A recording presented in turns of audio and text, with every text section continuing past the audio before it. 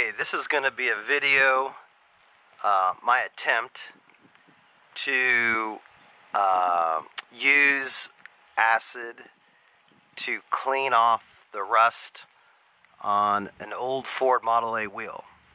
Um, this wheel is about 90 years old, so, and I'm going to try using something called citric acid. So I went online and I was looking at ways to clean up rust off metal. And this guy had a video comparing different methods. It's actually a good video. I'll put a link to it uh, down below later. And um, he tested like muriatic acid, uh, vinegar, uh, lots of different things, right? And he tested soda. And um, well, I didn't want to use muriatic acid because that uh, I'm pretty all pool owners are familiar with that. It's a pretty caustic acid. It's um, I think it's overkill for a job like this. It's it's uh, hard to dispose of. It it could do damage to you.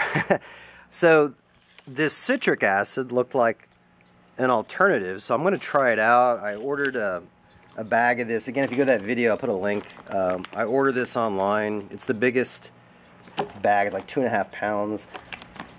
There's no directions on how to mix this, so the container I'm going to use, I'm just going to just, uh, maybe I'll use all of it, I don't know, but I'll keep, I'll kind of go by feel, I guess, on that, but I'll probably use most of the bag because this wheel is pretty big. Something to uh, help you out on the Model A wheels here. I'm not a wheel expert, but just some tips and tricks. So I have a, a 30 31 Model A. So the wheels are different than a 29. Uh, although these are known as 19 inch wheels, if you if you stand them up and measure them, uh, they're pretty. The total diameter here is like 20 and a half inches, uh, 20 and a half. So I'm not sure where the measurement is to 19 for that on these, uh, but just be aware if you're looking for a container to put this in. It's actually difficult. I'll get to that in a second. It's unless you have like a kiddie pool or something. You don't want to. I was trying to find a container that uh, would enclose or submerge the wheel of the Model A without using a whole lot of extra liquid I don't need, and that was pretty difficult. Um, when you're looking at wheels, I bought these from a local guy used. I got two. This is one. I got another one. Um, you're never guaranteed. You try. You want to try to pick them out so they're not warped and that they'll be balanced. Now the if you're in a yard or just picking these out, you're you're kind of taking a guess. It's a crapshoot if this will be a good wheel or not. So you want to try to inspect as much as possible. So some things you can do is check and see if all the spokes are straight. This is mostly straight down here. I don't know if you can see there's a slight bend down here, but for the most part, these spokes are pretty straight, and they are on the other wheel. Uh, the other thing you want to look at is if you have a flat surface nearby, like a driveway or even a garage, like a, you know, don't use your dining room table or something if uh, you don't want to get in trouble. But uh, a piece of good uh, plywood that you can lay it flat like this. And then just see, you know, look, you could put your head down, you know, peek down along the sides. See if there's any, like, look for any unevenness or just go around the wheel. Just try to spot check it the best you can on a flat surface. Uh, the other thing you want to look at will be helpful is this edge around here, this uh, this bead or whatever on the rim. You want to try to make sure that's flat and pronounced as possible. And remember, of the two sides, this will be on the inside, this will be on the outside facing. So you want to make sure there's not pitting or anything in here that's bad. I know this looks bad on video, but I think this will clean up pretty well. You also want to check, this will be hard to see in the video, but um, any bends, because over the years as people, don't forget it's a 90 year old wheel, right? So over the years it's had flats probably, or people take the tire off and change the tire. And over the years, just any kind of metal piece to pry the tire off. You may see some slight dents in here. Uh, this has a slight one over uh, over here, I think. But again, this is pretty. Overall, it's a pretty good wheel for a fair price that I got it. So those are some things you want to look at. Um, ideally, what you would do, and I don't have the facility to do this, is you would get some kind of like uh, spare mounting, some kind of mounting system where you could mount this on something and you'd spin it, and as you're spinning the wheel, uh, one way to do that is you could, if you're shopping with your Model A, you could drive your Model A up to the guy that's selling the used wheel and you could jack up your Model A, take one of the front tires off, put a spare on, just spin it, and you could actually try it directly on your Model A. But not everybody can drive around their Model A as they're shopping for parts. Um, both mine are actually not running at the moment, so so those are just some ways. And again, you can do all this research, and this could still be a bad wheel. So uh, it could wobble, it could not be even. So I gotta, you know, but I'm gonna try to clean it up first so I can see what I got.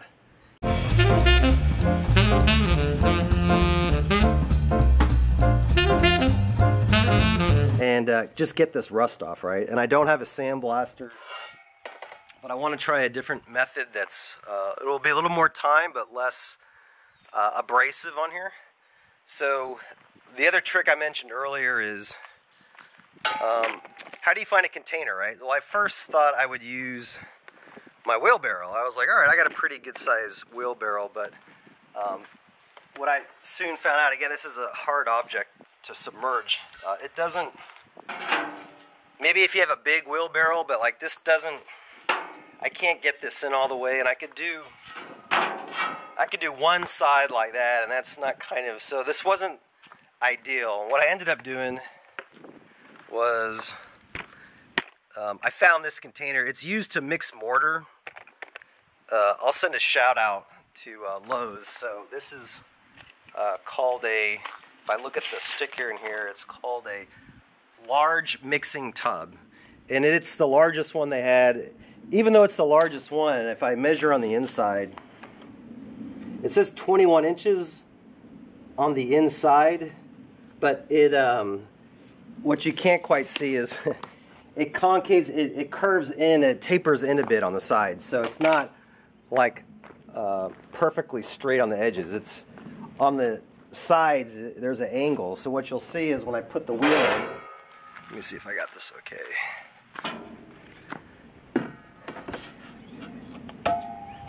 Now, this is better than the wheelbarrow, uh, but as you can see, it doesn't sit all the way flat, but that's the best I can do. Um, I did see uh, a round metal bucket for sale at Home Depot that looked like it might be the right diameter, but it looked kind of a.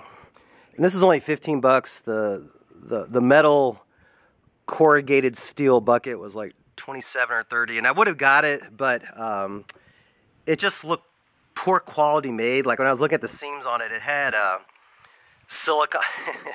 it didn't look like it would hold water very well. Whereas this, at least, um, and I could maybe, I don't know if I'll be able to use this in the future, but this, I'm pretty sure will hold liquid. There's no, uh, you can look inside this. This mold, this is a pretty, you know, pretty thick plastic. This is going to hold liquid, and I might be able to use this in the future. We'll see. Um, but what I'm going to go do now is I'm going to mix the acid with some warm water and put this in the container and we'll come back and look at it and see how it does removing rust.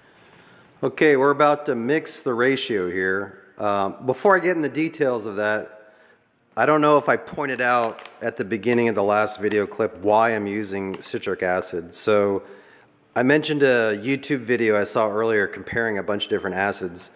Um, one is for cost. Um, I wanted to not go with like a commercial, like um, I know there's lots of commercial uh, rust removal products on the market, but I wanted something that was good cost effective. But um, I also didn't want to go with acid. I know there's concentrate. I'm sorry, I didn't want to go with vinegar I've used vinegar in the past. Vinegar's okay. I wanted something a little stronger than vinegar, because vinegar is real cheap too, uh, but not as caustic or damaging like muriatic acid or that stuff is just nasty. So um, I'm trying citric acid as an in-between. Um, it's funny when I did some research.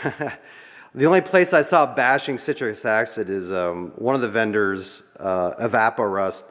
They've got this article on their website how citric acid is bad. It can like you know, remove paint. Well, I'm not, I don't have paint on those old wheels and it, it's saying it pit metal, but uh, I'm not gonna use a ratio, hopefully. I don't just, I thought it was kind of funny that they're bashing kind of like this generic product. Usually when you see companies do that, they're worried about that product. So uh, they didn't have an article about bashing milk to remove rust, for example. Uh, anyway, uh, let me get a piece of paper here. I heated up, it said um, I'm using warm water, so I I basically put a big pot on the stove and just warmed up, uh, not boiling, but warmed it up. And this bucket has a measurement of two gallons inside. Uh, when I went online, here's what I saw. So let me see if I can read this. Citric acid mix ratios to water. So one place said a half ounce of acid to 15 ounces of water. So if you translate that to gallons, if I did my math correctly, it's about 4.3 ounces to one gallon of water. This other place, uh, um, using metric uh, measurements here, 15 grams of acid with 400 milliliters of water, which I have no idea what that ratio is. I had to go look up and trans, uh, look up and translate a bunch of numbers. It comes out to basically five ounces of acid to one gallon of water. And then this other guy, I'm going with him. Uh, and I want to give him credit if uh, you go to this website, bmxmuseum.com forums. There was a guy cleaning old bicycle sprockets, and he used a mixture of six ounces of acid to one gallon of water. That's a more concentrated ratio than 4.3 or 5. And he had photos on his website. He seemed to get good results. So I'm going to try that ratio of six ounces to one gallon. And you just get a measuring cup, and right there, 12 ounces. I went a little bit over, not too bad. I was also curious because this citric acid is also advertised like you can cook and do food things with it. So I just actually tasted a little bit of it, and you can't do that with muriatic acid. And it's very sour. It tastes like a Sour Patch Kid candy, like a sour candy. So it was just kind of interesting. I just put a little bit in taste because I was curious. So I just tasted it, and uh, um, it's not toxic. That's another reason to go with citric acid is you, unless you ingest huge amounts, it won't kill you.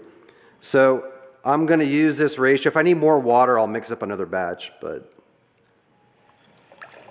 there we go. I'm going to mix that up maybe do another few more gallons and try it on the rusty wheel, see what happens. Okay, here's an update. I ran into some challenges. So my first challenge is um, I ran it. There's a little bit left, but I ran out of acid. So basically, this whole package, two and a half pounds, 2.5 pounds, um, it mixed up six gallons, which is good, you know. But you can see here, the six gallons uh, did not cover the whole wheel. So I actually had to tilt the container. I've got it propped up so I could get more of the wheel submerged. Now, I did order more because I bought this online at Amazon. I ordered another package, but it won't get here for a few more days. But this is uh, so this causes a few challenges. One is the wheel is not as submerged as I want. So because this is going to take, uh, from what I read, it's like nine to ten hours of sitting time. And what I'll have to do is, as it sits, I'm going to have to, like I'll do a section at a time, then rotate it, and have to wait like another, you know, nine or 10 hours. Uh, I'm looking at probably at least three rotations given my submerged here. But then I have to flip it over. So that's a lot of uh, flipping and changing the position to get it immersed. So I'm not going to be able to do it as quickly as I thought. Um, and the other challenge is this is six gallons here. It's hard to, um, doesn't look like a lot, but uh, you know, if you were going to buy a commercial product at like I don't know, thirty dollars a gallon. Six, you know, six times three. That's you know, hundred eighty dollars of. that gets expensive. Uh, I mean, you could at that point you could easily do it cheaper by sandblasting at a shop somewhere. Uh, so that's why I went with the citric here. Is this? I don't know if I said the price or not. This is like seventeen or eighteen dollars. So even two of these to get twelve gallons is like under forty bucks. So for under 40 bucks, I'm willing to put more liquid in this and see uh, if I can. Uh, but I'm running out of, if you look here, the edge, I'm kind of, uh, I can like put a little more, maybe a gallon or so, and then I'll be, you know, this container is at its max as far as what it can do. So not the end of the world, but this is not how I envisioned. Uh, I even thought of maybe a trash bag approach. Maybe I'll do that with the second batch. We'll see because I still have one more wheel after this. But I do want to see what the effect of the citric acid is mixing at a ratio of uh, six ounces to one gallon. And I can see the results on a partial area of the wheel just to see if it's doing a good job or not. Um, but covering the whole wheel is going to take a lot more time. Okay, let's check the progress. Uh, it is slow progress, but this sat overnight you can see the part that I rotated out and I just used a simple wire brush to just uh, agitate or get some of the rust off. So what I'll do is I'll rotate this down here. That's the new section. So another thing to think about if you use this method outside, I hope you're doing it outside, is um, evaporation. So if it's hot out, um, your liquid mix with the citric acid is going to evaporate. So you probably need to have a little bit of extra to mix and keep the level up. so what I do is I just take the wire brush after I rotate it and uh,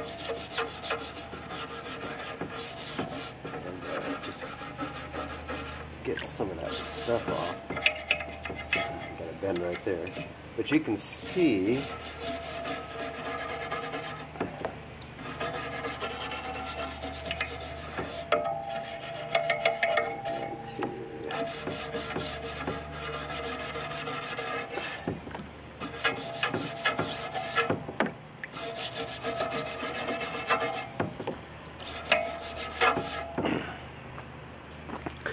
So you can see if you zoom in, if I zoom in for you here, that uh, it is getting the rust off. Uh, I am finding some paint, uh, and you know that's good. If the wheels are probably painted well, they were prepped. Uh, they probably had primer on them, so I wasn't expecting the citric acid to get the paint off, uh, but there is some paint, so most likely I'll have to do some additional sanding um, to get the paint and primer off. But the idea is I wanted a, a low cost way to get the rust off and this appears to be doing okay but you can see it's a slow process because I can't submerge the entire wheel so I have to keep rotating it and so put this down here and that's, that looks like paint right here. Um, now, it's actually very, uh, I got lucky, at least so far. The This is actually the outer edge here. It's, um, this is pretty, it's pretty smooth. I wouldn't say it's like straight off the factory, but you know, uh, there's, I don't feel any bad pitting. So in here, you know, so the, once you get that rust off, um, you know, you can really see the true what the uh, condition of the metal is. And so uh, if that's not pitted bad or damaged underneath the rust, this will make a nice wheel to uh, prep and paint for future use. Okay, I am now, this is my continuing project to remove the rust off my Ford Model A wheels. Uh, these are 19 inch wheels that go on a 30, 31 model. Although technically they're almost 22 inches in diameter. I have to figure that part out later. But um, anyway, I wanted to show how the citric acid. So remember, that's my big pan I put together mixed up of citric acid, six ounces for every one gallon. And I want to show you the results side by side. So these two wheels had the exact same amount of rust on them. They were stored together. And you can see that the, I would say overall, the citric acid did a good job removing the rust. Um, let me point out some things. So uh, you'll see some lines in the wheel, and that's where I couldn't fully submerge the wheel. So you'll see kind of like these uh, water lines in the wheel if I zoom in, because as I rotated around, I was trying to, uh, you know, get parts of the wheel submerged, and that's tricky. So the total time and effort, although this took several elapsed days for the wheel on the right, uh, the total effort is really not that much. Every time I flipped it around, it's only like 10 minutes. And again, I took just like a simple wire brush every time and just try to clean everything off. Uh, let me show you the back as well.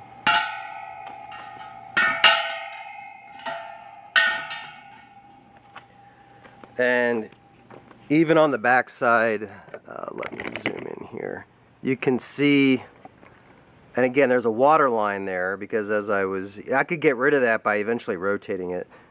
Um, and you can see what it looked like before, just lots of years of rust, right? Uh, one thing to notice is uh, the citric acid is not, if there's any paint or primed areas of paint, it won't get that off. So for example, let me zoom in right here. This is a section, looks like these wheels are painted black. So this is paint so I'll probably eventually have to um, maybe get this sandblasted. You could sand it by yourself. So for example, let me zoom out here. Um, you know, you could get similar results using sandpaper, but um, as someone who's used a lot of sandpaper on metal parts in the past, I can tell you that's a very, that's a tedious job. Uh, you don't want to be hand sanding more than you have, but just to give you an idea here on one of these, let me zoom on one of these spokes. You know, if you were so inclined and you want to buy some sandpaper, and uh, for example, this spoke here has some paint on it, so you could just, and this comes off very easy.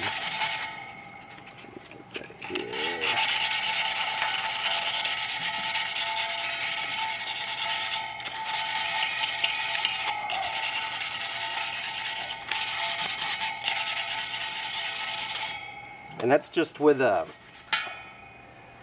with a few minutes of work there. Um, I don't know if you can see that, but that shined up really, that one spoke. And it's a lot, uh, I noticed after dipping it in the citric acid, uh, this, it's easier to sand, kind of loosens up the material that's left on there. So you could go still prep these wheels with sandpaper if you wanted. Uh, I may in fact do that, although that's going to be more time. And sandpaper is not cheap either.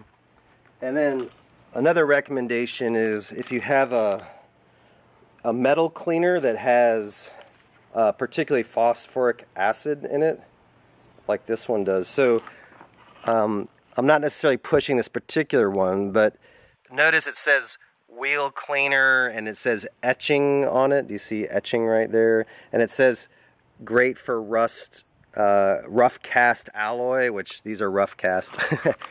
and if you look at the ingredients bag, it is too small to read, but uh, phosphoric acid is, uh, if you spray that on the wheels after you prep them and everything, it'll prevent them from rusting faster because you know if you work with any kind of iron, uh, you know raw metal, and you uh, sand it, any kind of water that's exposed, uh, it'll flash rust or it'll tend to rust pretty quick which is frustrating after you've done all this work. But if you etch it or put some kind of protectant on it, um, that'll keep it from rusting. So overall, the cost is good on this. Uh, oh, the other thing I want to point out is I still have this bucket of uh, citric acid, right?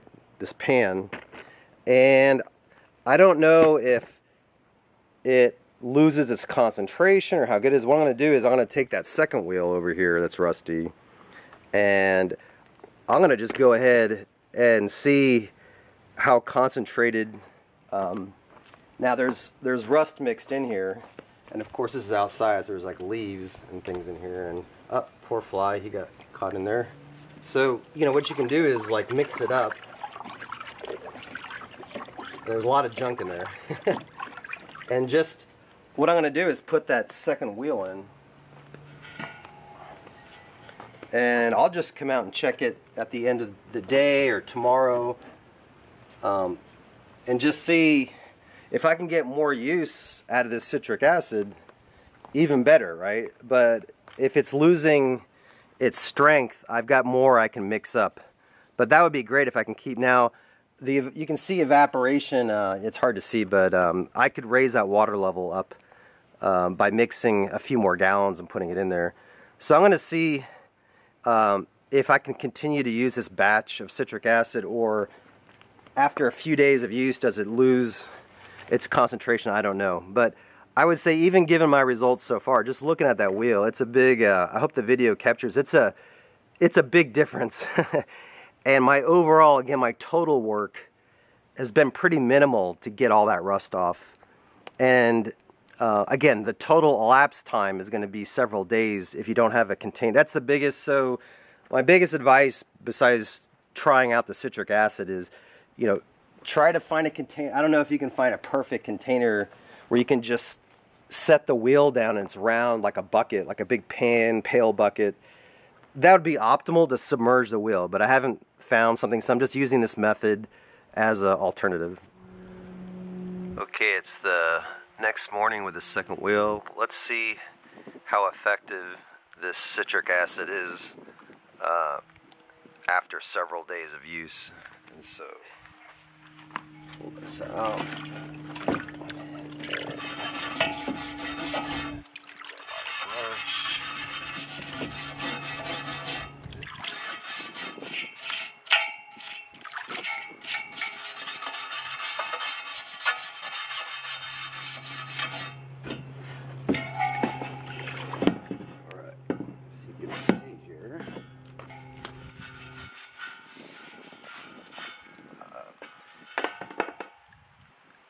See, that came off really well. So this citric acid is still um, very effective and is usable. So that's even better value because I can keep using this. Um, what I'm going to do is probably mix up, mix up um, a couple more gallons and put that in there to raise the water level a bit. But you can see uh, after going several days out in the sun with that previous wheel, and now I'm on my second wheel, that this citric acid still does a good job taking the rust off. So um, that makes it even more cost effective because I can keep reusing this liquid. Anyway, I think that's probably enough of removing rust off Model A wheels, so I'll go ahead and stop here.